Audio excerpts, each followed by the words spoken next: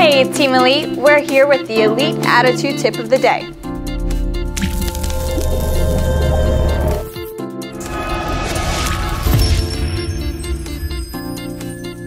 Today we're talking about consistency and why it's so important.